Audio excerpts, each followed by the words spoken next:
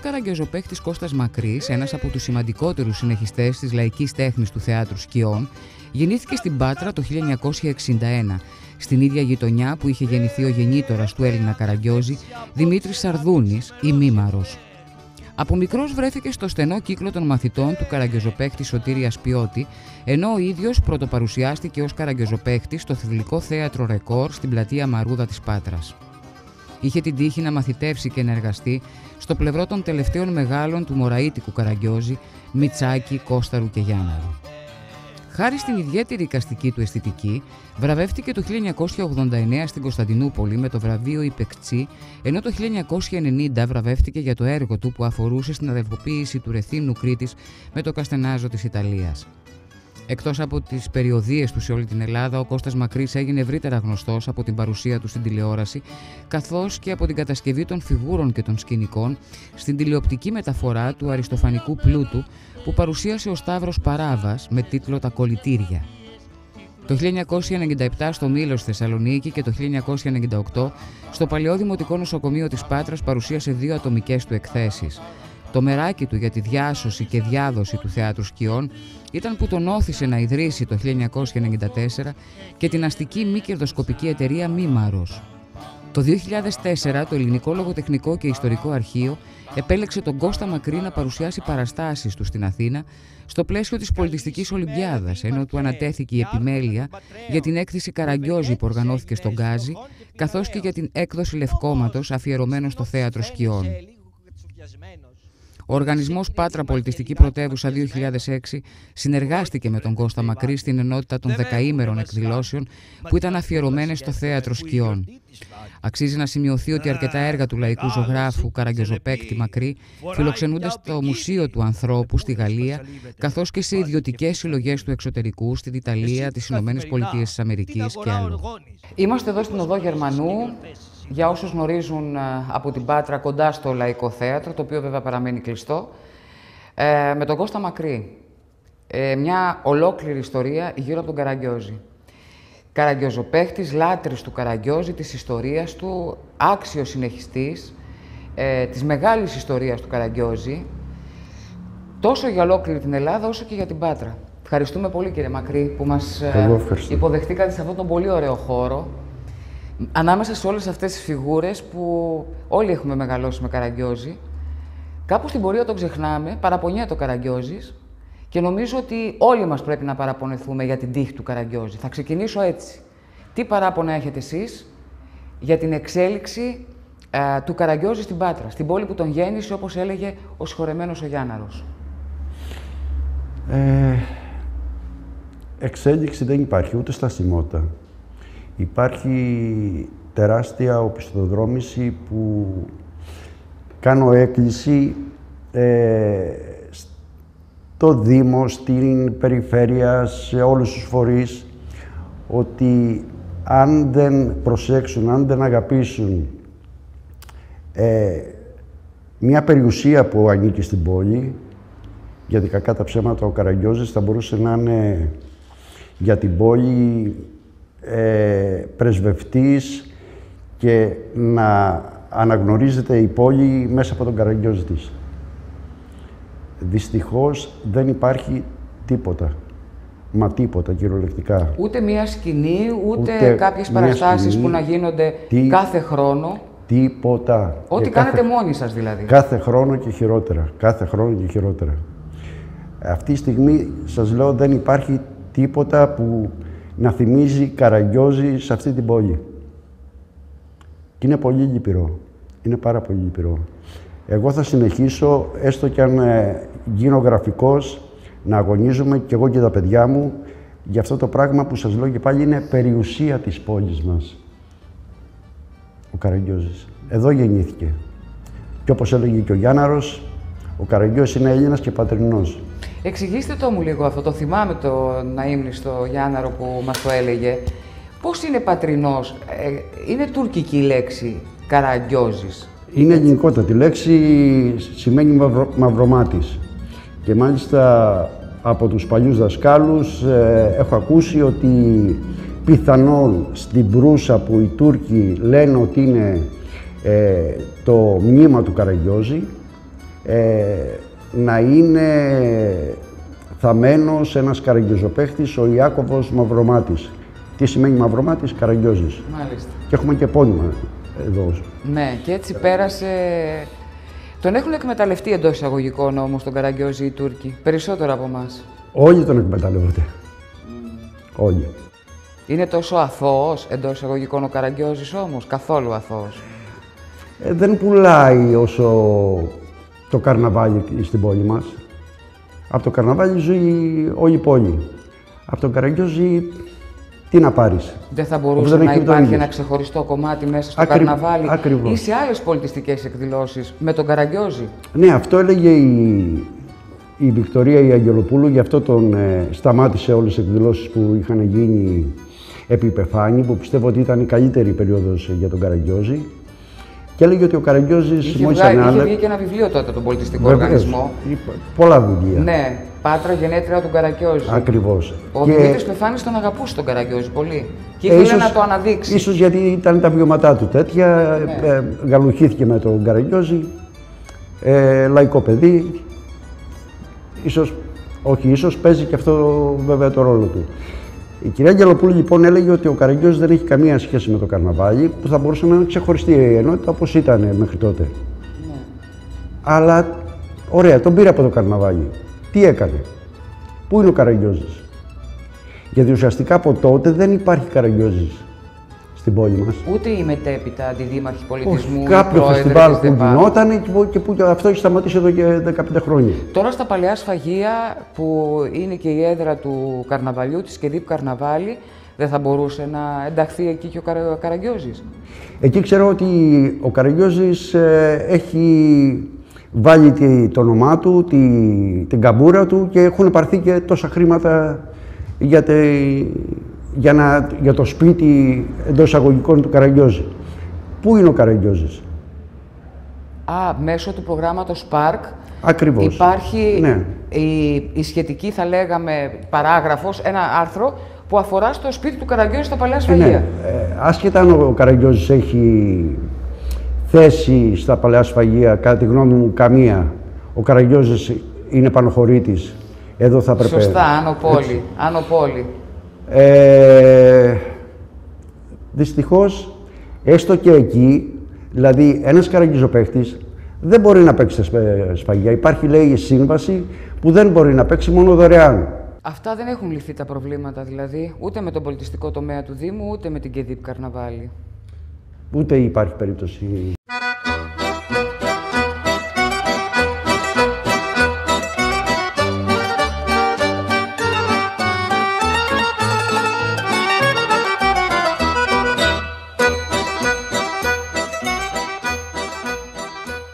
Αυτή η πόλη τι κάνει λοιπόν; Τι έχει κάνει για το Γιάνναρο; Τόσα χρόνια. Τι έχει κάνει για το Βασίλαρο; Δεν είναι δυνατόν να ασχολούνται ε,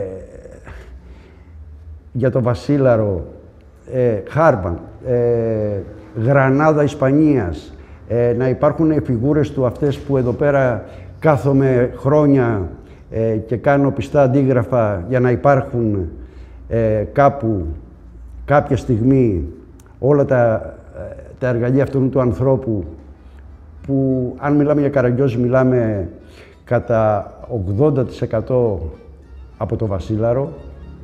Έχει αφήσει τέτοια πρίκα, τέτοια περιουσία με χειρόγραφα, με έργα του, με τις φιγούρες του που όλοι οι μετέπειτα καραγκιόζοπαίχτες έχουν πάρει πράγματα από αυτόν τον άνθρωπο.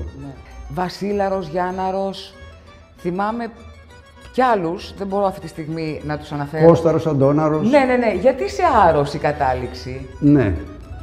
Ε, ο πρώτος Έλληνας καραγιοζοπαίχτης λοιπόν, ο οποίος τη χάνει και αυτός να ήταν πατερνός, ο Δημήτριος Αρδούνης, ε, με το ονομάστηκε Μήμαρος. Ε, οι δύο εκδοχές είναι ότι επειδή ήταν πολύ καλός μήμος και η δεύτερη από το, επο- από το όνομά του που ήταν Δημήτρης. Μίμης, Μήμαρος. Ναι. Μετέπειτα λοιπόν οι καραγκιζοπαίχτες, οι μαθητές του και οι μαθητές των μαθητών, των δασκάλων, ε, προς τιμή του Μήμαρου, το μικρό τους όνομα το έκαναν ε, να τελειώνει σε άρρος. Βασίλης Ανδρικόπουλος, Βασίλαρος, ε, Γιάννης Μουρελάτος, Γιάνναρος, Αντώνης Πλέσας, Αντώναρος, Κώστας Παλαιοθόδωρος, Κώσταρος. Τώρα θα με ρωτήσεις, εσύ γιατί δεν το έκανες; ναι, ναι. Σωστά. Γιατί ένας από τους δασκάλους μου, ο Κώσταρος, λοιπόν, είχε προλάβει και το είχε κάνει. Ναι. Οπότε ναι. το θεωρούσα λίγο... Και μένει Κώστας Μακρύς. Ποια φιγούρα είναι η αγαπημένη; Και ό,τι πρεσβεύει. Ο Καραγκιόζης, ο πρωταγωνιστής Ο Καραγκιός και ο Μπαρμπαγιώργος. και ο Μπαρμπαγιώργος. Γιατί ο Μπαρμπαγιώργος. Γιατί ε, αν ζούσε θα βάραγε πάρα πολλούς ε, σήμερα. Συνολικά, ε, πόσες φιγούρες έχουμε για μια, θα το πούμε, καλή παράσταση, να, να μπορεί να υπάρξει ποικιλία, αυτό εννοώ καλή παλα- παράσταση. Αρκούν και πέντε φιγούρες βέβαια, Από πέντε φιγούρες λοιπόν μέχρι 80. μέχρι και 80. Ε, τις φιγούρες αυτές τις φτιάχνετε μόνος σας, ε; Ναι, ναι. Και τα βασικά υλικά, Ανάλογα τη φιγούρα. Ε, αν είναι χαρτόνι, ναι. Χαρτόνι χρησιμοποιούσαν παλιά. ναι. Χαρτόνι. Αυτό είναι σκαλιστό Ναι. και με κοπίδια ε, το εσωτερικό και μετά ε, ζωγραφίζεται. Ε, ή μισό-μισό. Ε, μπορεί να είναι δερμάτινες. Ναι, ναι, Αυτό ναι. είναι δέρμα. Δέρμα, ναι. Δηλαδή αυτή Ναι, είναι αυτή του Βασίλαρου. Μάλιστα. Και ζωντανά χρώματα πάντα.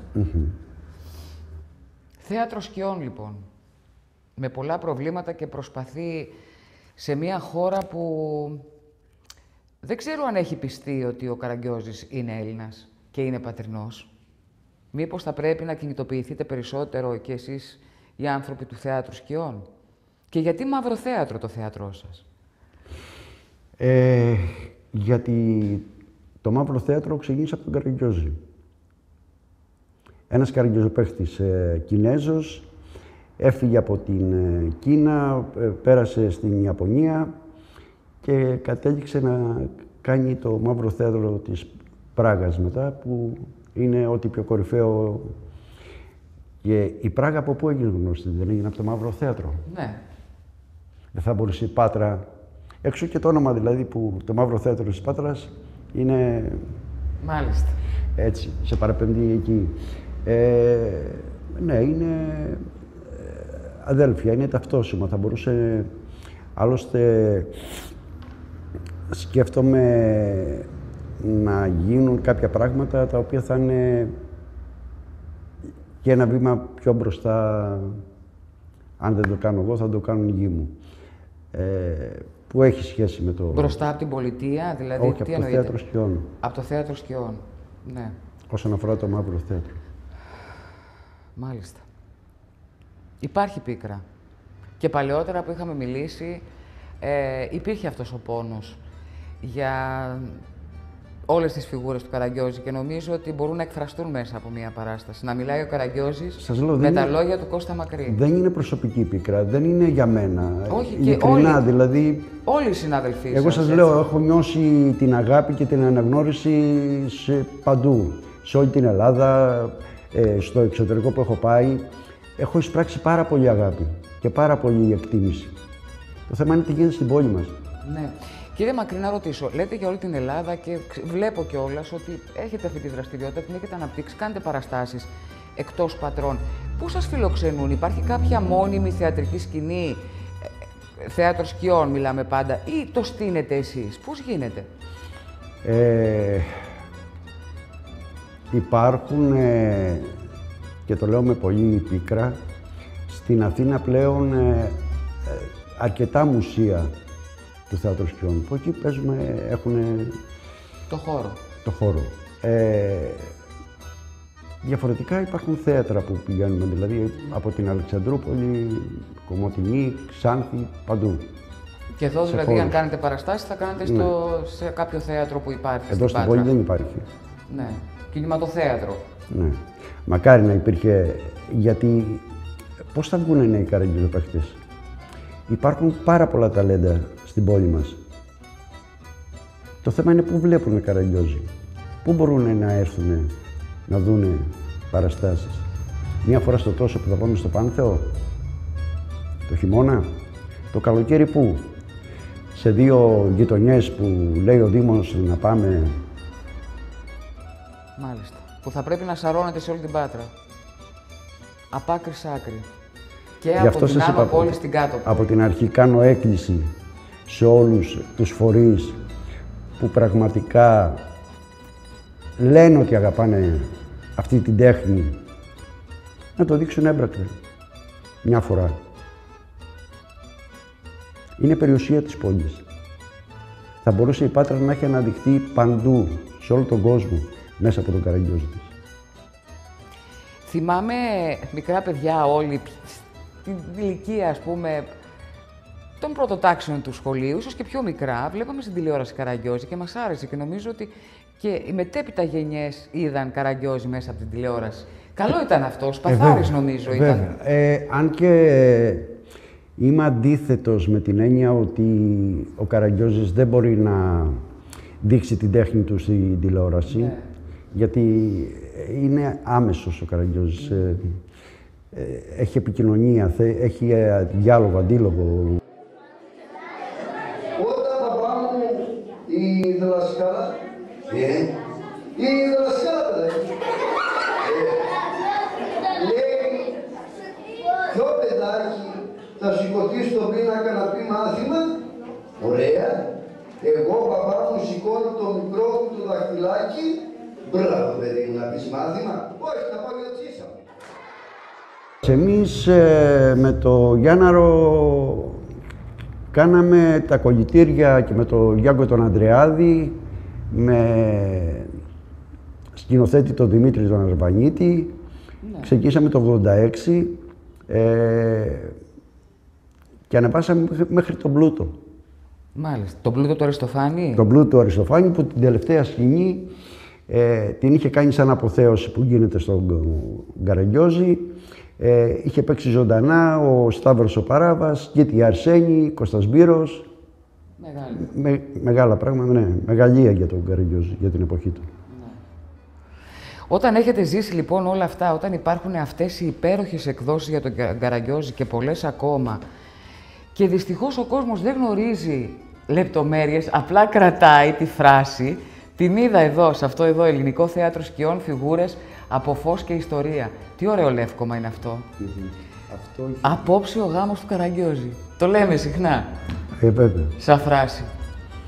Αυτό, ελληνικό θέατρο σκιών, Ναι, αυτό το έχει βγάλει το Ελιά. Ε, ήμουνα μέσα, είχα αναλάβει την ε, εδώ κάπου λέει Κώστας Μακρύς. Ναι, ναι, ναι.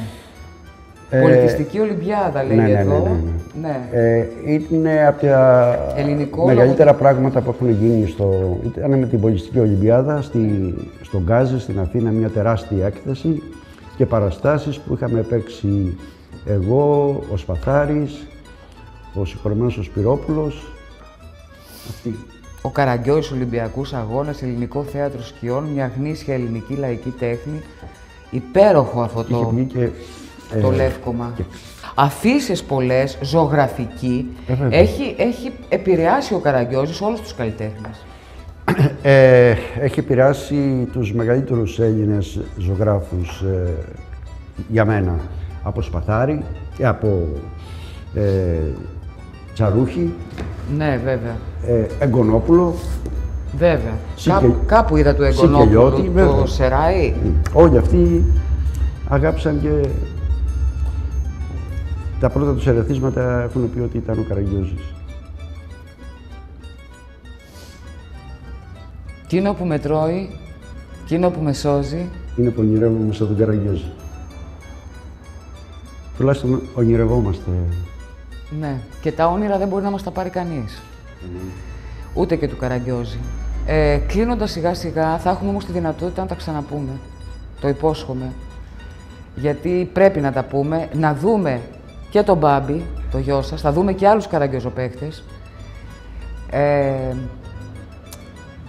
διδάσκετε τα νέα παιδιά, κάνετε σεμινάρια. Ε, τι άλλο κάνετε κύριε Μακρύ; Πρόπερση, Τους μαθαίνετε να φτιάχνουν φιγούρες. πρόπερση είχε πάει ο γιος μου με αντιπροσωπεία από το Πανεπιστήμιο ε, το τμήμα θεατρολογίας ε, με την κυρία Φραγκή δηλαδή είχαν πάει και αντιπροσωπεύσαν την Ελλάδα με μια παράσταση που είχαμε ετοιμάσει ο Φερετζές Ζαφυρίτσας στην Αίγυπτο ε, και συμμετείχαμε και σε ένα ε, μεγάλο σεμινάριο που είχε γίνει για τους θεατρολόγους ε, της Αιγύπτου. Ε, πάρα πολλοί κόσμος, πάρα πολλοί φοιτητές που τους διδάξαμε τον πατρινό Καραγκιόζη. Και το άκουσαν με ενδιαφέρον. Ε, βέβαια. Και υπάρχει ακόμα τε- τρομερό ενδιαφέρον. Μια ευχή έτσι να κλείσουμε όμορφα για αυτή την υπέροχη φιγούρα. Αυτό Τον Καραγκιόζη που έχει μεγαλώσει γενιές και γενιές, αλλά είναι τόσο παρεξηγημένος.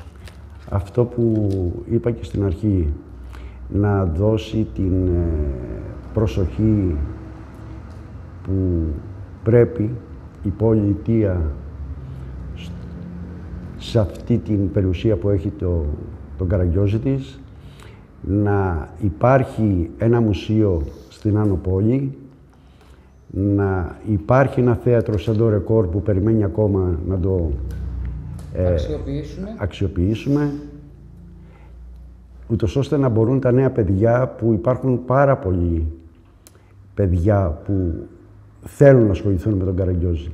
Να μπορούν να βλέπουν παραστάσεις Καραγκιόζη, να μπορούν να κάτσουν δίπλα σε ένα μάστορα, γιατί ο Καραγκιόζης είναι μια λαϊκή τέχνη που σημαίνει ε, παίρνω τη σκητάλη από το δάσκαλο και την παραδίνω και εγώ μετά με τη σειρά μου στον μαθητή. Εγώ αυτό έμαθα. Ε, είμαι ευλογημένος γιατί είχα έναν ε, πολύ μεγάλο δάσκαλο, τον Γιάνναρο. Ο Γιάνναρος είχε έναν τεράστιο δάσκαλο, τον Βασίλαρο. Αυτή είναι η πορεία και η ιστορία του Καραγκιόζη. Ε, πλέον είναι άσχημο να μαθαίνουν τον Καραγκιόζη από το ίντερνετ ή από το facebook ε, τα νέα παιδιά. Γιατί αυτό γίνεται και έτσι πιστεύω θα χαθεί ο Καραγκιόζης. Γι' αυτό κάνω έκκληση. Ας είναι βιασμένη νύχτα, είπε ο Γιάννος καλή νύχτα, είπε μια είναι βιασμένη νύχτα, γεια σου Γιάννα ρε,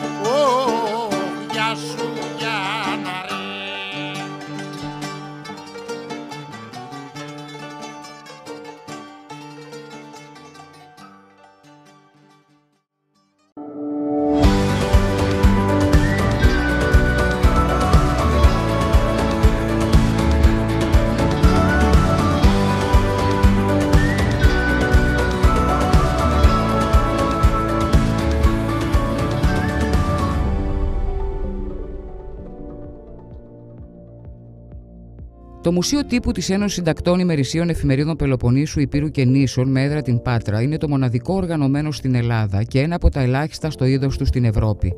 Σκοπός του είναι η συγκέντρωση και η διαφύλαξη εφημερίδων, περιοδικών, χειρογραφών και άλλων εντύπων, κυρίως από το παρελθόν που αποτελούν την πηγή της πληροφόρησης για την ιστορία του τόπου μας.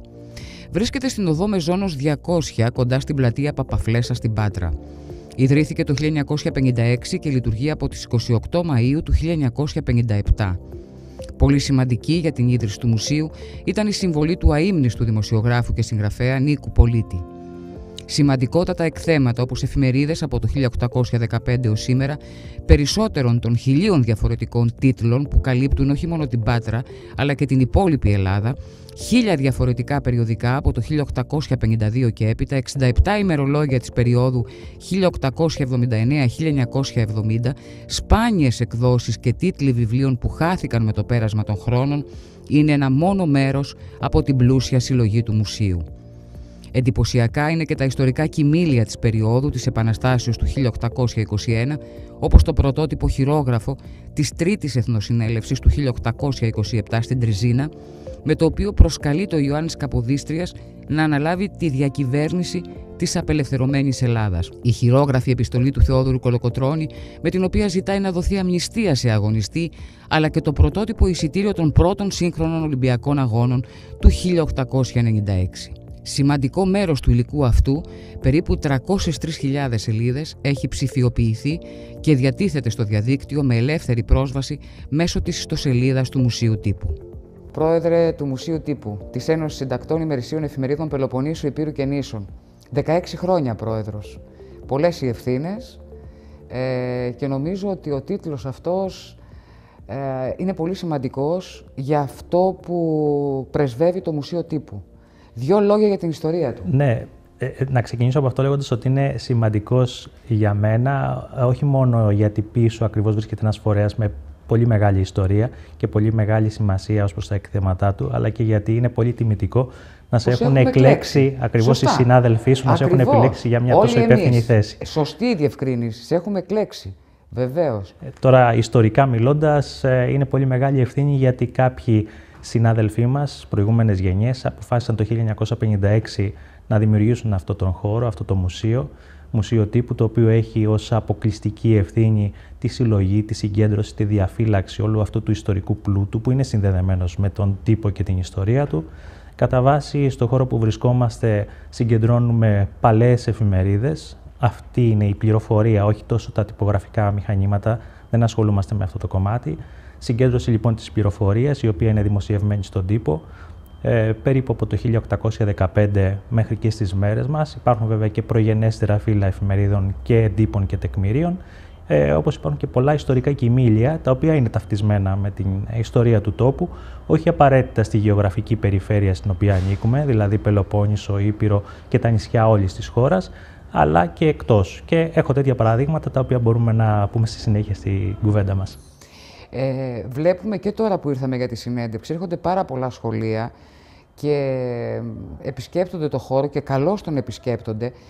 Σίγουρα από την εμπειρία σας, ε, είναι η Κατερίνα Τσίρου εδώ που βεβαίως εξηγεί στα παιδιά και κάνει τις ξεναγήσεις και τους ε, δίνει την όλη εικόνα. Τι είναι αυτό που τα συναρπάζει τα παιδιά, τι, τι γνωρίζετε και εσείς από την εμπειρία σας; Ε, θα επικαλεστώ περισσότερο τη μαρτυρία της συνεργάτηδάς μας, της Κατερίνας, της Κατερίνας Τσίρου, Τσίρου ναι. βεβαίως, γιατί έρχεται σε άμεση επαφή με τα παιδιά ε, και αυτό νομίζω που τα συγκινεί περισσότερο είναι όταν βλέπουν κάποια τεκμήρια τα οποία είναι συνδεδεμένα με πρόσωπα της ελληνικής ιστορίας. Δηλαδή ε, το αυτόγραφο του Θεόδωρου Κολοκοτρώνη, οι υπογραφές των προκρήτων ε, στο έγγραφο της Τρίτης Εθνοσυνέλευσης της Τριζίνας που καλούν τον Ιωάννη Καποδίστρια να έρθει να αναλάβει τη διακυβέρνηση της χώρας. Είναι αυτά τα ιστορικά πρόσωπα τα οποία αν θέλεις τους είναι και πιο οικία, τους είναι και πιο γνωστά μέσα από τα βιβλία ε, και άρα είναι στενά συνδεδεμένα μαζί τους. Ε, από την άλλη πλευρά σίγουρα εμείς έχουμε επιλέξει να έχουν μια βιωματική εμπειρία, δηλαδή δεν θέλουμε να έρχονται σε έναν χώρο που να παραπέμπει σε κάτι το θνησιγενές, ε, να μπορούν να, να, πιάνουν τις εφημερίδες, να πιάνουν το χαρτί, να καταλαβαίνουν ότι είναι διαφορετικά τα γράμματα, οι στιγμές, οι εικονογραφήσεις κατά περιόδους ε, και να μην είναι μια αποστεωμένη ξενάγηση. Όμως τα παιδιά, τα νεότερα που έχουν άμεση σχέση με τα social media, πώς βλέπουν; Εμείς έχουμε ζήσει και τα τυπογραφία και το πώς θα βγει μια εφημερίδα, ε, εγώ βέβαια είμαι και πιο μεγάλη από σένα, έχω ζήσει και τη λινοτυπία. ίδια γενιά. έχω ζήσει και τη λινοτυπία. Τι τους λέει αυτό το χαρτί ας πούμε; Ε, νομίζω ότι πρώτα απ' όλα τα συναρπάζει, γιατί η σχέση με το βιβλίο δεν έχει ε, ποτέ ε, γίνει ξεκομμένη. Δηλαδή και σήμερα ε, στα σχολεία τους μέσα από τα βιβλία διαβάζουν και ενημερώνονται και δίνουν εξετάσεις. Δεν έχει μπει για παράδειγμα το e-book, το ηλεκτρονικό βιβλίο.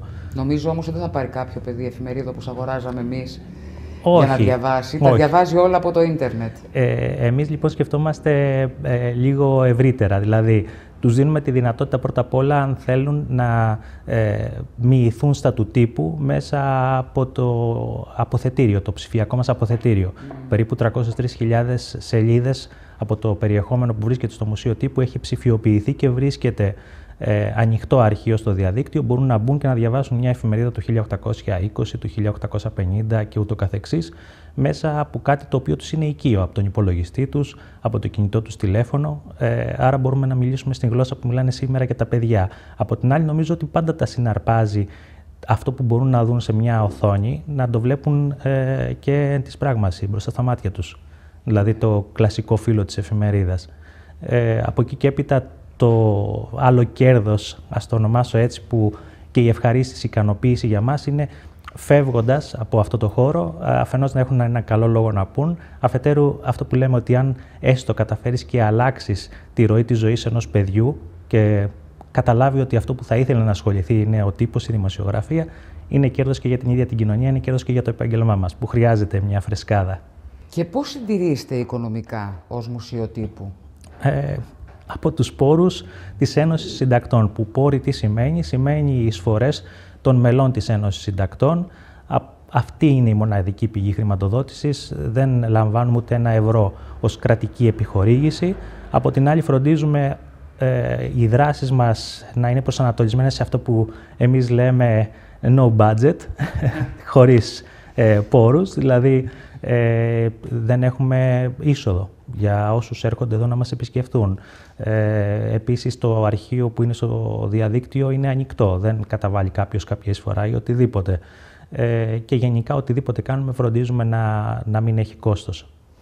Εάν κάποιος θελήσει να κάνει μια δωρεά, είναι καλοδεχούμενη η δωρεά στο μουσείο τύπου για να μπορέσει να. Και αυτό μου δίνει και την ευκαιρία να ευχαριστήσω όλους αυτούς τους πολίτες, συμπολίτες, αλλά και από άλλα μέρη της Ελλάδας που το έχουν κάνει. Έχουν μάθει ότι ε, βρισκόμαστε εδώ στην Πάτρα. Η Πάτρα είναι η έδρα του Μουσείου Τύπου ε, και απευθύνονται σε εμάς. Ε, και πολλά από αυτά γίνονται και αυθόρμητα. Μάλιστα, αν μου επιτρέπεις ε, ένα χαρακτηριστικό, μια τέτοια χαρακτηριστική περίπτωση, πριν από λίγες εβδομάδες, ένας συμπολίτης μας, ε, ο οποίος έχει στο παρελθόν προσφέρει και άλλα πράγματα, ε, ασχολείται με το τεχνικό κομμάτι, με τον κατασκευαστικό τομέα. Σε μια κατεδάφιση λοιπόν ε, βρήκε μια, έναν τόμο παλιάς εφημερίδας. Μας ρώτησε αν μας ενδιαφέρει, του είπα, ήξερε εκ των προτέρων την απάντηση ποια θα είναι, ότι είναι θετική. Επικοινώνησε μαζί μας και είπε να σας την προσφέρω, να σας τη δώσω. Τέτοιες περιπτώσεις έχουμε και άλλες και με πολύ χαρά τις υποδεχόμαστε. Και εννοούσα και χρήματα, δηλαδή αν κάποιος θέλει να αφήσει κάτι ως δωρεά. Στην... Ναι, κάτι τέτοιο δεν έχει γίνει μέχρι σήμερα. Ε, αυτό έχει να κάνει κυρίως και με την νομική μορφή της Ένωση Συντακτών. Εμείς δεν είμαστε ένα. Ναι, μεν έχουμε μια αυτονομία στο να σχεδιάσουμε, να οργανώσουμε δράσεις ως μουσείο τύπου, αλλά είμαστε όργανο της Ένωσης Συντακτών. Σε αυτήν διοικητικά αναφερόμαστε αυτή εξυπηρετεί και τα όποια κόστη και τακτοποιεί τα όποια κόστη και δαπάνες υπάρχουν και απορρέουν, ενώ το ρεύμα, ε, το νερό, δηλαδή απλά έτσι, ε, καθημερινά, τα οποία όμως βαραίνουν ως έξοδα. Πέρα από εφημερίδες ε, ή ίσως κάποιες αφήσεις ε, της εποχής, παλιών εποχών, ε, μπορεί κάποιος να θέλει να δωρήσει κάποιες εγκυκλοπαίδειες, τα δέχεστε αυτά ή ε, παλιά βιβλία γνωστών ε, συγγραφέων της χώρας μας.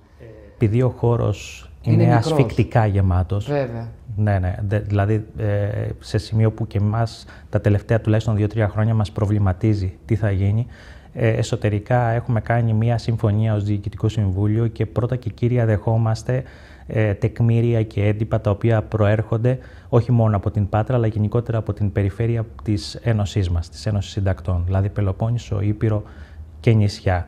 Ε, Βεβαίως δεν θα πούμε όχι σε ένα πολύ σημαντικό τεκμήριο το οποίο μας έρχεται και αφορά οποιαδήποτε περιοχή της Ελλάδας και έχουμε τέτοια, ε, φτάνει να μπορούμε να το διαφυλάξουμε. Εγκυκλοπαίδεια, θα σου έλεγα έτσι και να μιλήσουμε επί του πρακτέου, είναι λίγο δύσκολο. Ναι. Ε, θα πιεστούμε, αλλά μάλλον θα το κάνουμε να δεχθούμε μια εφημερίδα, τόμος εφημερίδων, για παράδειγμα από την Ήπειρο ή από κάποιο ε, μέρος της νησιωτικής χώρας. Αυτό θα, θα δούμε πώς θα το κάνουμε και θα το κάνουμε. Ναι, και πώς γίνεται η διαδικασία, δηλαδή όταν παραλαμβάνετε αυτό το τεκμήριο ή τα τεκμήρια, τι ακολουθεί μετά; πρέπει ο δωρητής να είναι ε, σίγουρος ότι αφενός δεν θα πάει χαμένη η δωρεά του ε, και θα αναδειχθεί και θα αξιοποιηθεί. Το πρώτο και κύριο είναι αυτό που εμείς θέλουμε, να κερδίσουμε την εμπιστοσύνη του. Και πώς μπορεί να γίνει αυτό, καταγράφοντας ακριβώς αυτό το οποίο μας δόρισε, στέλνοντας μια επιστολή στην οποία περιγράφουμε το τι ήταν αυτό το οποίο δόρισε, για να την έχει και αυτό στα χέρια του, και επίσης στην, ε, στο ψηφιακό αποθετήριο που υπάρχει στο διαδίκτυο και εκεί περνάμε ότι το συγκεκριμένο αντικείμενο, η εφημερίδα, η επιστολή ή οτιδήποτε έχει γίνει δωρεά από τον τάδε συμπολίτη. Μάλιστα. Ούτε ώστε όλα να είναι διάφανα, ξεκάθαρα και να μην δώσουμε ποτέ την αφορμή για να πει κάποιος τι έγινε με αυτό το οποίο δόρισα. Το Μουσείο Τύπου έχει δεχθεί και πολλές επισκέψεις πολιτικών, νομίζω και πρωθυπουργών, έχουν περάσει από εδώ, το έχουν δει. Ναι, και τις εκθέσεις του Πρόεδρου Δημοκρατίας, ναι, επίσης. βέβαια, βέβαια. Ε, φαντάζομαι ότι τους αρέσει πάρα πολύ, σίγουρα λένε τις καλές τους κουβέντες. Ε, από εκεί και πέρα είναι τιμητικό βεβαίως για το μουσείο όλες αυτές οι επισκέψεις, αλλά κάποιος από αυτούς έχει σκεφτεί να, να δωρήσει κάτι στο μουσείο; Ναι, ε, έτσι επειδή έχω στο μυαλό μου ε, πιο νοπό, δεν έγινε πρόσφατα, αλλά όμως στα νεότερα, στα σύγχρονα χρόνια, ε, έχουμε εφημερίδα την οποία έχει δωρήσει ο Κωστής Στεφανόπουλος πριν από το θάνατό του. Ο αείμνηστος πρόεδρος ναι, της ναι, Δημοκρατίας. Βεβαίως. Ε, υπάρχουν και άλλοι επώνυμοι συμπολίτες οι οποίοι έχουν προσφέρει κατά περιόδου. Διάλεξε αυτόν επειδή βρέθηκε στο ανώτατο πολιτιακό αξίωμα και πάντα ε, ξεχωρίζει ως δωρεά. Το να σου δωρίζει ένας πρώην πρόεδρος Δημοκρατίας ε, ως φορέα κάτι ε, είναι πολύ σημαντικό. Και είχε και αξία και ιστορική, αλλά, εννοώ για την ιστορία του τύπου, αλλά και για την ιστορία του τόπου αυτό το οποίο δόρισε.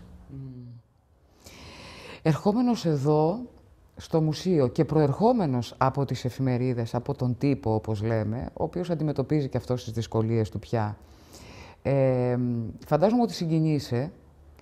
Ε, πού ανατρέχεις, σε ποια εφημερίδα; Υπάρχει ε. κάποια εφημερίδα έτσι που της έχεις μια αδυναμία; Δεν θα πω ότι είναι εφημερίδα αυτό στο οποίο ανατρέχω. Θα πω όμως ότι μερικές φορές, ακόμα όταν έχω ελεύθερο χρόνο και μπορώ να πω ότι θέλω να ψυχαγωγηθώ ή να δω κάτι, όχι ψάχνοντας κάτι το συγκεκριμένο, μ' αρέσει πάρα πολύ και είναι ανεξερεύνητα ακόμα κάποια κομμάτια του μουσείου που αφορούν αρχεία. Υπάρχουν αρχεία και επιφανών πατρινών, αλλά και άλλα τα οποία διαθέτουμε, στα οποία ακριβώς επειδή δεν έχουμε το προσωπικό εκείνο, το επιστημονικό, το οποίο ε, θα τα καταγράψει όπως πρέπει, θα τα αναδείξει όπως πρέπει, ε, είναι, βγαίνουν για πρώτη φορά, βλέπουν για πρώτη φορά το φως. Ε, αυτό είναι ένα παιχνίδι προσωπικό το οποίο μου αρέσει πάρα πολύ. Ναι. Ανακαλύπτω δηλαδή πράγματα, επιστολή ε, του τάδε πολιτικού, η οποία δεν ξέραμε κι εμείς καλά-καλά ότι υπήρχε. Έχουμε ξεκινήσει τα τελευταία χρόνια ε, να κάνουμε μια τέτοια καταγραφή ε, με επιστημονικό τρόπο, ε, στηριζόμενοι και βασιζόμενοι κυρίως σε κάποια νέα παιδιά τα οποία έρχονται για πρακτική άσκηση από το Ιόνιο Πανεπιστήμιο έχουν μάθει ότι υπάρχει το μουσείο τύπου, μας προτείνουν αν μπορούν την πρακτική τους να την κάνουν εδώ. Με πολύ χαρά ε, υποδεχόμαστε τα νέα παιδιά ε, και αυτά κάνουν την πρακτική τους και εμείς όμως έχουμε όφελο από αυτή τη διαδικασία. Μάλιστα. Αυτό το πλασματάκι εκεί, ο δαίμον του τυπογραφείου, το λέω πλασματάκι, ε, φέρει σφραγίδα Αντώνη Παπαντονόπουλου, ναι. να μάθουμε λίγο την ιστορία του. Βέβαια, είναι, είναι οπτικοποίηση του δαίμονα του τυπογραφείου, έτσι όπως το έχει εμπνευστεί και τον έχει δημιουργήσει ο Αντώνης ο Παπαντονόπουλος, ο οποίος για μένα είναι οικαστικός. Είναι κάτι πέρα από ε, αυτό που λέμε ασχολούμενος, ε, εργαζόμενος ε, στον, στην έκδοση, στην εκτύπωση. Ε, είναι όπου και πολύ εργαλείο, έτσι, και γράφει ναι, και πολλά πράγματα ο Αντώνης Παπαντονόπουλος. Ε, το κομμάτι αυτό έχει, σε αυτό έχει κάνει και την οπτικοποίηση, αλλά έχει καταγράψει και την ιστορία. Δηλαδή, σύμφωνα με τους θρύλους, ε, το πώς ε, δημιουργήθηκε ο δαίμονας του τυπογραφείου, την ιστορία του όλη, από πού προήλθε. Ε, και ε, βέβαια κάθε τι που κάνει ο Αντώνης ο Παπαντονόπουλος ε, φέρει τη δική του σφραγίδα και στην είσοδο του μουσείου ίσως ε, μπαίνοντας θα είδες σε κάποιες παλιές, κάποια παλιά κλισέ από εφημερίδες και περιοδικά ναι, ναι. περασμένων αιώνων, που και αυτό είναι δουλειά του Αντώνη του Παπαντονόπουλου και με πολύ χαρά μας το έχει δωρήσει και ακριβώς γι' αυτό θελήσαμε να είναι στον προθάλαμο, μπαίνοντας κανείς στο, στο μουσείο. Ε, οι τίτλοι αυτοί, περισσότεροι από αυτούς, αν όχι όλοι, είναι ταυτισμένοι με την ιστορία του τύπου. Σίγουρα χρειάζεστε ένα χώρο και φαντάζομαι ότι είναι όνειρο Ναι. Αλλά όχι απατηλό. Ε, για μένα είναι ένα όνειρο, δηλαδή ε, θα ήθελα να βρει μια νέα στέγη το μουσείο, ένα τέτοιο χώρο που να μπορεί να αναδείξει όπως πρέπει τα εκθέματά του ε, και τις εφημερίδες αλλά και τα τεκμήρια τα οποία διαθέτει. Ε, χωρίς άλλη υπερβολή να σου πω μερικούς αριθμούς επειδή μας αρέσει στην ε, δουλειά μας να χρησιμοποιούμε αριθμούς. Εδώ έχουμε εφημερίδες από το 1815 έως σήμερα, 1.300 διαφορετικούς τίτλους. Περιέχονται σε 900 τόμους από όλη την Ελλάδα, 1000 περιοδικά από το 1852 και έπειτα, 67 ημερολόγια της περίοδου 1879 έως 1970 και σπάνιες εκδόσεις βιβλίων αλλά και πολλά τεκμήρια. Κάπου όλα αυτά θα πρέπει να βρουν μια νέα στέγη. Έχουμε κάνει κάποιες ενέργειες, έχουμε ε, κατά καιρούς ε, ζητήσει, διεκδικήσει ε, την παραχώρηση της χρήσης του κτηρίου της Παλαιάς Νομαρχίας που βρίσκεται στην ε, Πατρέως και Καραϊσκάκη. Ε, επικαιροποιήσαμε αυτό το αίτημα πριν από ε, λίγους μήνες ε, για να γνωρίζουν και οι άνθρωποι της πολιτείας ότι υπάρχει ενδιαφέρον για αυτό το κτίριο που παραμένει κλειστό. Είναι νομίζω μια καλή ευκαιρία και για να βρει μια νέα στέγη το Μουσείο Τύπου και η Ένωσή μας, αλλά παράλληλα και να πετύχουμε και την επανάχρηση ενός ακινήτου το οποίο μαραζώνει και βρίσκεται και στην καρδιά της Πάτρας. Και είναι και πολύ ωραίο κτίριο και έχει ανακαινιστεί και δυστυχώς μαραζώνει. Ε, ευχαριστώ πάρα πολύ.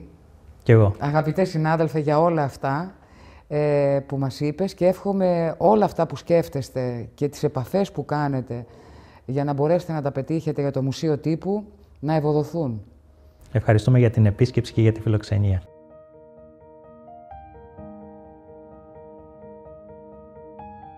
Ο πατρινός Ξενοφών Παπαευθυμίου είναι μουσιολόγος και συντηρητής έργων τέχνης. Ανήκει στην κατηγορία των ανθρώπων που αγαπούν τον πολιτισμό, τον υπηρετούν με ταπεινότητα, κινούνται αθόρυβα, μελετούν, γράφουν, παρατηρούν, ερευνούν και καταγράφουν τη φθορά και την εξέλιξη των πραγμάτων μιας ιστορικής πόλης, είτε σε φωτογραφίες, είτε σε κείμενα, είτε σε έργα τέχνης. Σκοπός του η διατήρηση της πολιτιστικής αλλά και της βιομηχανικής κληρονομιάς του τόπου του. Ο Ξενοφών Παπαευθυμίου γεννήθηκε το 1962 στην Πάτρα.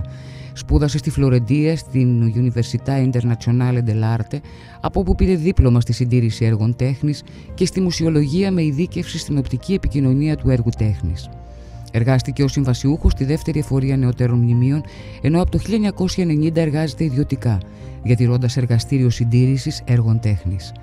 Έχει εργαστεί σε έργα πολιτιστικής διαχείρισης, ψηφιοποίησης και τεκμηρίωσης, έχει γράψει και επιμεληθεί βιβλία με ανάλογη θεματολογία και ασχολείται με την έρευνα και την τεκμηρίωση της νεότερης αρχιτεκτονικής κληρονομιάς και της βιομηχανικής και του τεχνολογικού πολιτισμού της Πάτρας.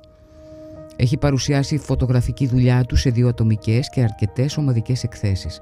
Είναι μέλος του ελληνικού τμήματος της Διεθνούς Επιτροπής για τη Διατήρηση της Βιομηχανικής Κληρονομιάς, μέλος της Επιτροπής του Μουσείου Λαϊκής Τέχνης του Δήμου Πατρέων και του Διοικητικού Συμβουλίου της Εταιρείας Αχαϊκών Σπουδών.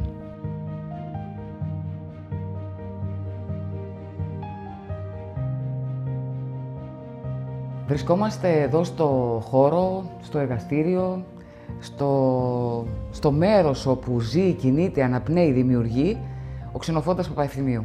Ευχαριστώ πάρα πολύ που μας φιλοξενείτε εδώ στο χώρο σας. Γνωριζόμαστε χρόνια, ε, γνωρίζουμε τη δουλειά σας, ε, είστε από τους πιστούς ανθρώπους, θα λέγαμε, μιας γενιάς που αγαπά και αναδεικνύει τις ωραίες μεριές και στιγμές της πόλης, ε, είτε μέσω εκθέσεων φωτογραφίας, είτε μέσω κάποιων ιστορικών καταγραφών που μπορεί να βγουν σε συνεργασία και με άλλους ιστορικούς ή συγγραφείς. Ε, κύριε Παπαευθυμίου, θα ξεκινήσω ανάποδα να μιλήσουμε λίγο για τον πολιτισμό. Θεωρώ ότι είστε από τους υπηρέτες του πολιτισμού. Ε, να πούμε δύο λόγια για τον πολιτισμό της, της πόλης μας και τι σημαίνει πολιτισμός για την Πάτρα; Ο πολιτισμός για την Πάτρα, όπως και για κάθε πόλη, είναι, ας το πούμε έτσι, η έκφραση της ταυτότητάς της. Και πολιτισμός δεν είναι μόνο το θέατρο, η μουσική, έτσι, τα οικαστικά. Πολιτισμός είναι ε, η οικονομική της και η κοινωνική της ζωή. Ε, μην ξεχνάμε ότι τον πολιτισμό τον δημιούργησαν οι άνθρωποι, από τους ανθρώπους του λαού, στα προσφυγικά, μέχρι τους αστούς ε, σταφιδέμπορους, βιομήχανους ή επιστήμονες, γιατρούς, οι οποίοι ε, κατανάλωσαν, να το πούμε έτσι, εντός εισαγωγικών τέχνη, δημιούργησαν τέχνη, υποστήριξαν την τέχνη. Ε, δεν πρέπει να ξεχνάμε ότι το δημοτικό θέατρο που έχουμε ε, το έφτιαξαν οι, οι σταφιδέμποροι. Ε, η Πάτρα ε, ε, είχε και έχει το χαρακτηριστικό ότι είναι μια πολιτισμική πόλη. Έτσι, μια πόλη η οποία φτιάχτηκε από τον Καποδίστρια, από τα ερήπια, από, από τα ερήπια που ήταν μετά την Επανάσταση, ε, έστειλε το Σταμάτιο Βούλγαρη και δημιούργησε αυτό το πολεοδομικό συγκρότημα, στο οποίο συγκεντρώθηκαν οι ελάχιστοι πατρινοί που είχαν επιβιώσει και επιστρέφαν μετά από το, την Επανάσταση, οι Καλαβριτινοί, οι Επτανήσοι, από διάφορα μέρη της Ελλάδας, ακόμα και της υπόδουλης ακόμα Ελλάδας και φυσικά συνέρευσαν ε, από την Ευρώπη ε, Άγγλοι, Γάλλοι, Γερμανοί, έμποροι, σταφιδέμποροι, οι οποίοι έμειναν στην πόλη, στην ουσία έγιναν πατρινοί. Ο Άμβουργερ ήταν σχεδόν πατρινός. Ε, για παράδειγμα, όλοι αυτοί οι Άγγλοι σταφιδέμποροι, οι οποίοι ήρθαν εδώ, έκαναν οικογένειες, αναμίχθηκαν με τους πατρινούς και μην ξεχνάμε και τους Ιταλούς, ναι. οι οποίοι ξεκίνησαν με το ριζορτζιμέντο ως αντιστασιακοί και μετά ως, ας το πούμε έτσι, και οικονομικοί μετανάστες, ήρθαν εδώ και ενσωματώθηκαν ε, και όλοι αυτοί δημιούργησαν μια, μαζί με τους πρόσφυγες μετά ε, που ήρθαν από τη Μικρασία και από την, ε, από την, και από την Κωνσταντινούπολη, δημιούργησαν έτσι ένα κοινωνικό σύνολο με πολλές εκφάνσεις, θεωρώ και με πολύ ωραία χαρακτηριστικά. Και ίσως και από εκεί μετά από χρόνια ξεκίνησε δειλά-δειλά και όμορφα, πάλι βεβαίως από ανθρώπους οι οποίοι είχαν τη δυνατότητα να δαπανίσουν αρκετά χρήματα, μιλάω για τους εμπόρους, τα φιδεμπόρους κλπ, το καρναβάλι μας. Βεβαίως, ναι. Το, οποίο, το, το οποίο το καρναβάλι και αυτό είναι ένα υβρίδιο. Έτσι, γιατί βέβαια έφεραν τα δυτικά στοιχεία από την Ιταλία και από τα Επτάνησα, αλλά ενσωματώθηκαν εδώ και με τα ντόπια στοιχεία, τα λαϊκά, τα οποία υπήρχαν και υπάρχουν ακόμα σε μερικές περιπτώσεις ως ένας άνθρωπος που έχετε σπουδάσει ε, τέχνη, έτσι, έχετε πραγματικά ε, διδαχτεί ζωγραφική, είστε συντηρητής έργων τέχνης, ε, θα ήθελα να μάθω, κάνετε και αγιογραφίες, γιατί βλέπω αρκετές αγιογραφίες εδώ, να μας εξηγήσετε για ποιο λόγο είναι εδώ οι αγιογραφίες. Περνάω κατευθείαν σε εσάς τώρα και θα επανέλθουμε στον πολιτισμό. Εγώ δεν, δεν είμαι αγιογράφος, δεν κάνω δηλαδή δημιουργική αγιογραφία ή δημιουργική ζωγραφική. Βέβαια, έχω κάνει ζωγραφική. Ξεκίνησα, είχα το προνόμιο, να το πω και έτσι, να μαθητεύσω δίπλα στο Σπύρο το Σόκαρη, που ήταν και οικογενειακός μας φίλος. Και έτσι, νέο παιδί ακόμα τελειώνοντας το σχολείο, βρέθηκα δίπλα στο Σπύρο το Σόκαρη για τουλάχιστον δύο-δυόμιση χρόνια, που τον πρόλαβα μέχρι πριν φύγει πρόωρα από τη ζωή και διδάχτηκα πολλά πράγματα, όχι μόνο ε, τα στοιχεία της ζωγραφικής, αλλά και το καλλιτεχνικό ήθος και το δημιουργικό ήθος. Ε, που μετέφερε στους μαθητές του, γιατί ήταν χαρισματικός άνθρωπος ο Σπύρος ο Σόκαρης. Ε, αυτά που βλέπετε είναι, ε, τυχαίνει να είναι αυτή τη στιγμή κάποιες εικόνες ε, που είναι προς συντήρηση. Ναι. Ε, και η δουλειά μας δεν είναι καλλιτεχνική. Ιδιωτών είναι, είναι, και είναι και ιδιωτών και από ιερούς ναούς, έτσι. Κοστίζει πολύ η συντήρηση μιας εικόνας. Ανάλογα με την ιστορία είναι Ανάλογα με, την, ανάλογα με το πρόβλημα που ναι. υπάρχει, έτσι. Ε, μην, μην πιστεύουμε τίποτα αστρονομικά έτσι ποσά, ιδίως για κάποια αντικείμενα μικρού μεγέθους, γιατί δεν μιλάμε για μεγάλα σύνολα, τα οποία έχουν κόστος και λόγω χρόνου και λόγω υλικών, αλλά είναι κάτι το οποίο μπορεί κανείς να ανταπεξέλθει έτσι, ε, σε φυσιολογικά κόστη. Το ζητούμενο δεν είναι μόνο τόσο το κόστος, όσο το να γίνεται η σωστή δουλειά. Γιατί η συντήρηση δεν είναι το πάρεργο κάποιων καλλιτεχνών, έτσι, όπως παλαιότερα νομιζόταν, είναι μια αυτόνομη ειδικότητα που σπουδάζεται. Ε, στην ουσία είναι η ιατρική της τέχνης. Εμείς Μάλιστα. είμαστε γιατροί της τέχνης. Σωστά. Εφαρμόζουμε μεθοδολογία και τεχνολογία. Ε, εγώ σπούδασα στην Ιταλία αρχές της δεκαετίας του 80 ε, και εκτός φυσικά από θεωρία της τέχνης και στοιχεία ζωγραφικής, στοιχεία δηλαδή πώς, πώς δημιουργείται ένα εργοτέχνης, μια τοιχογραφία, μια εικόνα, ένας πίνακας. Τα βασικά στοιχεία είναι μετά τεχνολογικά. Είναι φυσική, χημεία, βιολογία, η εφαρμογή τους πάνω σε αυτό, οι τεχνικές μέθοδοι, όλα αυτά, ε, τα οποία είναι απαραίτητα για να γίνει μια σωστή συντήρηση. Γιατί η συντήρηση είναι μια επέμβαση η οποία πρέπει να διασώσει ε, την αυθεντικότητα και την ιστορία ενός αντικειμένου. Ουέ και αλλήμον εάν επέμβουμε ωρεοποιώντας το. Βέβαια θα μου πείτε τώρα το κομμάτι του πολιτισμού είναι μεγάλο, έχει πολλές πτυχές, υπάρχει ο κόσμος ο οποίος είναι ευχαριστημένος, υπάρχει ο κόσμος που είναι παραπονεμένος, ας τα αφήσουμε όμως λίγο στην άκρη και να δούμε τον ξενοφόντα Παπαευθυμίου να περπατά στο δρόμο, να φωτογραφίζει, να βλέπει να καταγράφει, ε, έχετε κάνει εκθέσεις φωτογραφίας. Τι ήταν αυτό που σας κέντρισε το ενδιαφέρον; Η πιο πρόσφατη ήταν Αόρατη Πόλη. Αόρατη Πόλη, ναι, ναι. Όπου καταγράψατε, ναι, όπου καταγράψατε στιγμές ε, μιας πάτρας που, που χάνεται, που σβήνει. Η, η φωτογραφική αυτή δουλειά είναι η απόρρια μιας γενικότερης κατα, καταγραφικής φωτογραφικής δουλειάς. Ναι. Ε, εγώ έμαθα, εντάξει, τη φωτογραφία μου άρεσε γιατί από μικρό έβλεπα ο πατέρας μου είχε μια φωτογραφική μηχανή, φωτογραφίζε, μας έμαθε να φωτογραφίζουμε και εμένα και την αδελφή μου. Ε, και ήταν μέσα στην ε, κουλτούρα μας. Ε, η, η, φωτογραφία για μένα ξεκίνησε ως μέσον καταγραφής από τις σπουδές μου, τεκμηρίωση που λέμε. Και αυτή τη δουλειά έκανα. Ε, και στην Πάτρα, τα κτίρια, τα στοιχεία, τα αρχιτεκτονικά.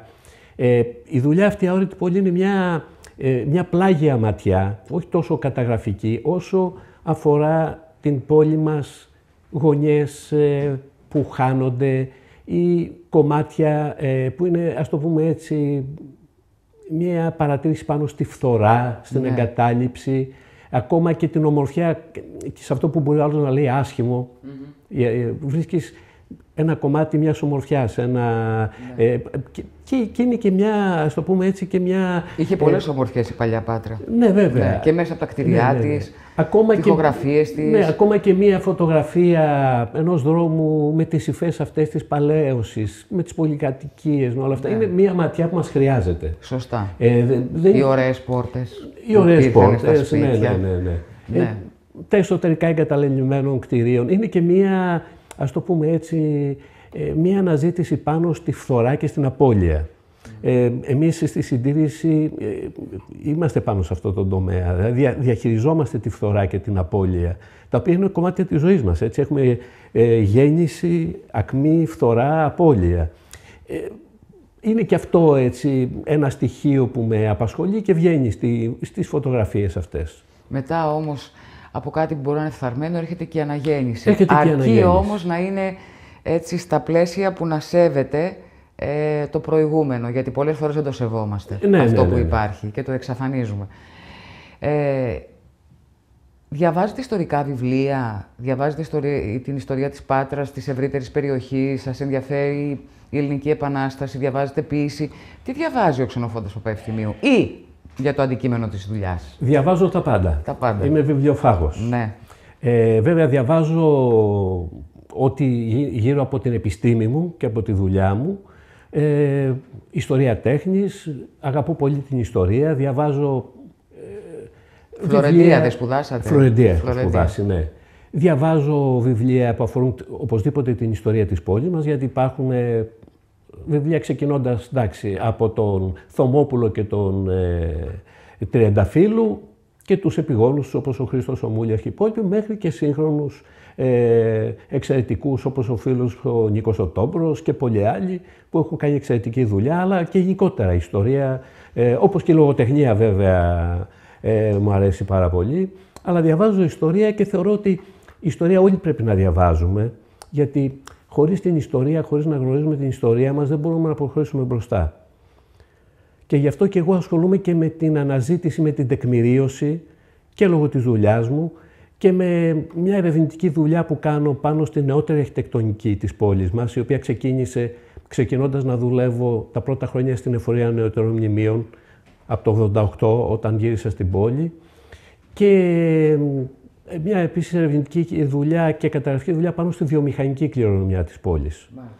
γιατί μαθαίνοντας από την Ιταλία ερχόμενος ε, είχα δει την, ε, ότι στην Ιταλία υπήρχε μια ευαισθησία πάνω στη βιομηχανική αρχαιολογία και βιομηχανική κληρονομιά και γυρίζοντας, ε, συνειδητοποίησα ότι η πόλη είχε αυτόν τον πλούτο. Μιλάμε για τα κτίρια και για τα μηχανήματα; Τα κτίρια, τα μηχανήματα, ε, τη λειτουργία, την ιστορία, ναι, όλο ναι. αυτό. Γιατί δεν είναι η ιστορία μόνο των βιομηχάνων, είναι και η ιστορία των εργαζομένων, των τεχνητών, ε, των, όλων των παράλληλων δραστηριοτήτων που υπήρχαν γύρω τους.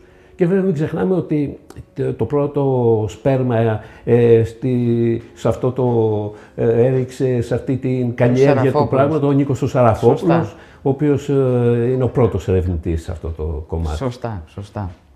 Εγώ θέλω από έναν άνθρωπο που έχει υπηρετήσει και συνεχίζει να υπηρετεί τον πολιτισμό να μου πει αν πιστεύετε ότι σήμερα παράγεται πολιτισμό στην Πάτρα. Παράγεται και θα παράγεται ε, πολιτισμός παραγόταν ακόμα και σε εποχές όπως ο πόλεμος.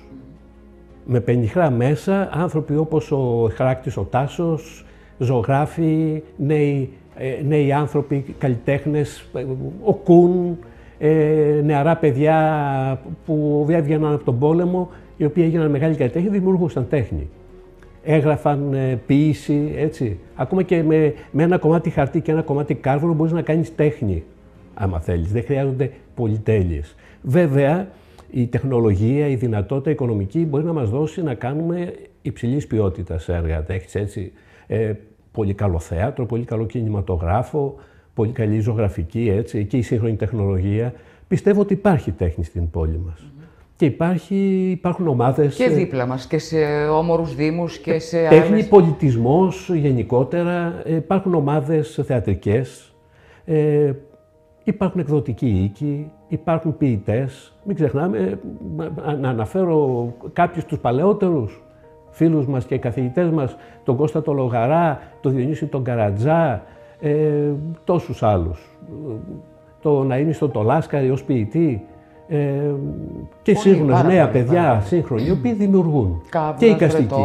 Κάβουνας, Ρετός, Ρέα Γαλανάκη, Ρέα Γαλανάκη που Πρόσφατα βραδεύτηκε η κυρία, ναι, έτσι. Νίκος ε, Μπακουνάκης, ο οποίος ε, ναι, ενδιαφέρεται για την Πάτρα, ε, αλλά έχει ασχοληθεί ενώ... Και στον νοικαστικό χώρο υπάρχουν πολύ, πάρα πολύ. πολλοί. Και μάλιστα ε, όλα αυτά τα χρόνια έχουν βγει πολλά παιδιά από σχολές καλών τεχνών, από Ιταλία που έχουν σπουδάσει. Πολλοί ήταν και ήμασταν μαζί στην Ιταλία, αυτή στην καλών τεχνών. Ε, νέα παιδιά τα οποία έχουν πολύ νέες ιδέες, σύγχρονη, παρουσιάζουν σύγχρονη δημιουργία ε, δημιουργείται. Απλώς υπάρχουν στον δημόσιο χώρο κάποιες ε, καμπές. Έχουμε, θυμόμαστε το Διεθνές Φεστιβάλ του Αίμιστου του Θάνου του Μικρούτσικου, όπου παρουσιάστηκαν πράγματα εκπληκτικά. Ναι. Βέβαια υπήρχε και χρηματοδότηση. Υπήρχε και χρηματοδότηση. Ε, βέβαια μπορεί ε, και με χαμηλότερη χρηματοδότηση να κάνεις κάτι λιγότερο και πάλι ποιοτικό. Ας πούμε το φεστιβάλ ε, χορού της Καλαμάτας, το οποίο συνεχίζει να είναι σε πολύ υψηλό επίπεδο. Δεν κρατάει όσο κράταγε παλιότερα, κρατάει λιγότερο. Αλλά θεωρώ ότι μπορεί να γίνονται και πράγματα τα οποία δεν μας αρέσουν, μπορεί να γίνονται προχειριότητες, πάντοτε γίνονται αυτά.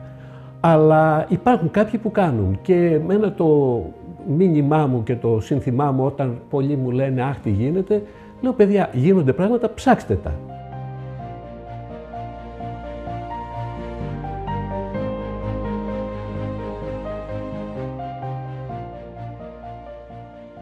Εγώ θεωρώ ότι η τέχνη πρέπει να είναι στη ζωή όλων μας. Δεν είναι πολυτέλεια, είναι ανάγκη.